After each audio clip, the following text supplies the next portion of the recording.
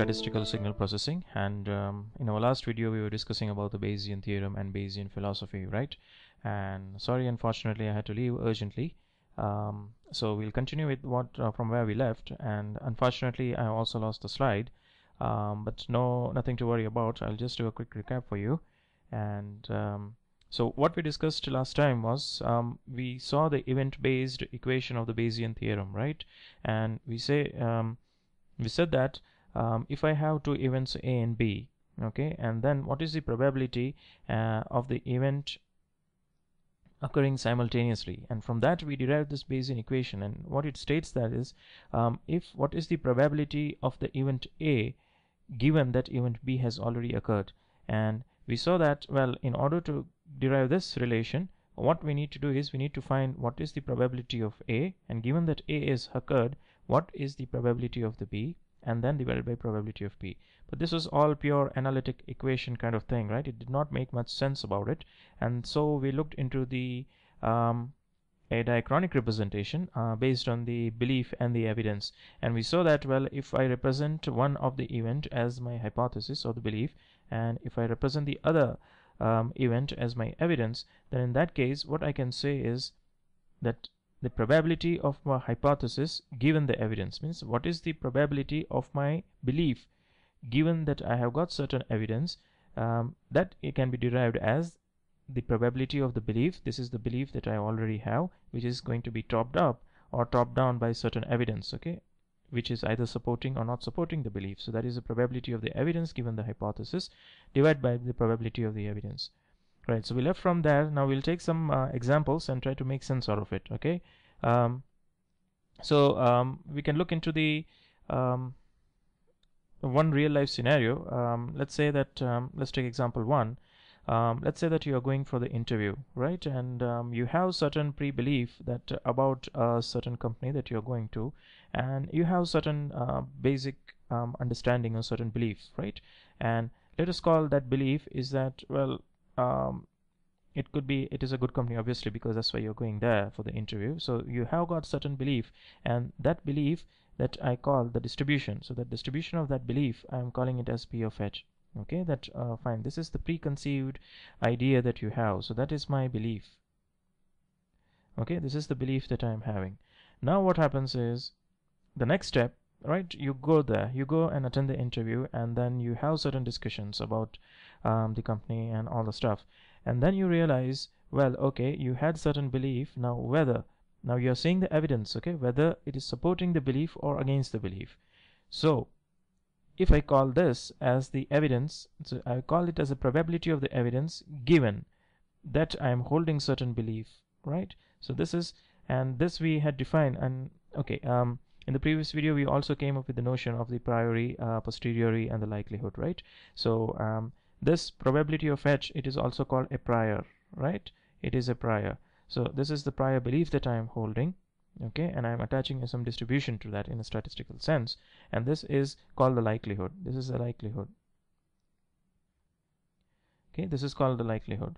And right so now I, I was having certain belief now, given that I was having, I was in the domain of that particular belief, and then I went to the interview, but then when I go to the interview, either my belief is helped by the evidence or it is not helped by the evidence, okay? So, these are the two uh, points of the Bayesian theorem that goes on the top of the, it's the numerator, right? And then we have the probability of the evidence. Now this this is a bit tricky part the probability of the evidence. So this evidence it is actually the total probability of the evidence which is in support and also not in support of the belief okay? So let's say that you are holding some positive belief okay? So this evidence is nothing else but the um, it is the summation or it is the evidence that supports that supports your belief okay plus it is also the evidence that is against the belief. Is also against your belief. Right so this point is very important and it is a bit tricky um, but in the numerical sense it basically acts as a normalizing factor okay? And so if you put all these things there and plug, the, plug them into this equation then what you will come up with is that you will come up with a refreshed new idea or refresh new belief based on the evidence. So now what Bayes theorem tells us that okay I was holding certain belief in prior okay and but then it has got topped up with my certain evidence okay? And now given that evidence and given the belief and given that I have the probability of the evidence now my new belief has got changed okay so this is the basic philosophical um, diachronic representation of so basically you can start off with certain belief then if that belief is supported by the evidence then you can increase uh, your belief can increase in the positive direction or it can be it could decrease in a negative direction okay? So that is an update of the belief. So the new update so this is what um, um, people call it as um, let me change the color here um, so people call this as an update okay? This is called the update and this guy is my pre-belief. This is my pre-belief uh, or the prior. Okay this is my prior. So this is the update of the belief and it is also called a posteriori. A posterior right? So this is this is the posterior this is the prior. This is my likelihood. Okay this is my likelihood and this is the normalizing factor that I'm going to have. Okay this is a normalizing factor uh, fine. So this is um, more on a philosophical sense. Now let's take um, one of the real life examples that we normally see in communication systems or um, generally with any system which has got the inputs and outputs. And let us try to relate the Bayesian philosophy with that. Okay, so um, let's try to take the second example and check how it is going to work out um, because this is more of a practical implementation, right? So um, let's say that I have got certain system. This is a black box which I do not know. Okay so this is my certain system. And this system has got certain input and it has got a an output. And I will denote input as X and I'll denote output as Y. And let us say that X has got certain probability okay and y also has got certain probability so it has so basically what i'm saying is that well this guy is also random. Okay this guy is also random and this guy is also random. Well although it is random it has got certain statistical properties associated with that um, uh, defined by its statistical parameters okay? So if you assume that well my input is Gaussian in nature and what our output also is Gaussian in nature then um, we'll come to that um, but uh, um, if you know about the Gaussian distribution, you can say that, well, okay, this is random in nature, but it is um, defined by two parameters, mu and um, sigma, mu and sigma, that is the mean and the variance, right? And here also it is mean and the variance. But we are not going into that at this moment um, because we are associating um, just with the pure Bayesian philosophy at the moment.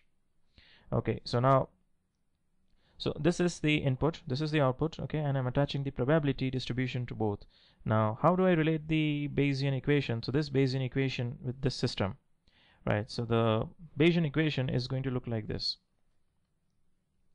So um, okay let me just say this is my input okay and this is my output. Now I have the probability of y and this probability of y is not completely unique okay? It can it is also dependent upon what I am transmitting because if I change the input then output is also going to change. Then in that case it is, they are not independent right? They are um, there is a dependent probability. So in that case I can expect right the distribution of probability of y given x probability of y given x. So now the idea is um, what um, what is going what the Bayesian theorem is going to tell you is that what is the probability of x given that you have y you have received?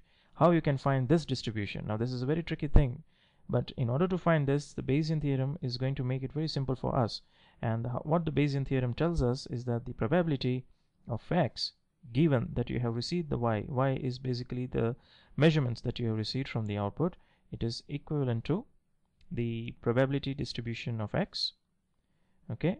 And then the probability of y given that you have already transmitted x divided by the probability of y okay? So this is what the um, system model um, for the Bayesian theorem approach. And again um, if I want to relate with the posteriori and priori and the likelihood so this is basically um, this is the likelihood function for me right? Um, this is my prior this is what we call as a prior. This is my normalizing factor. This is my normalizing factor. And this guy is my posterior.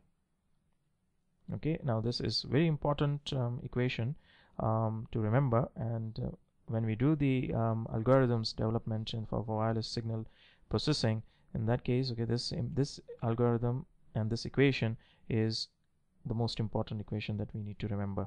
Okay um, so I would suggest that you write it down somewhere and remember it um, because we'll come across this in many algorithm developments in the near future. Okay so I hope you have enjoyed the couple of examples and uh, we'll carry on with the further discussion on uh, statistical signal processing. And so I will see you in the next video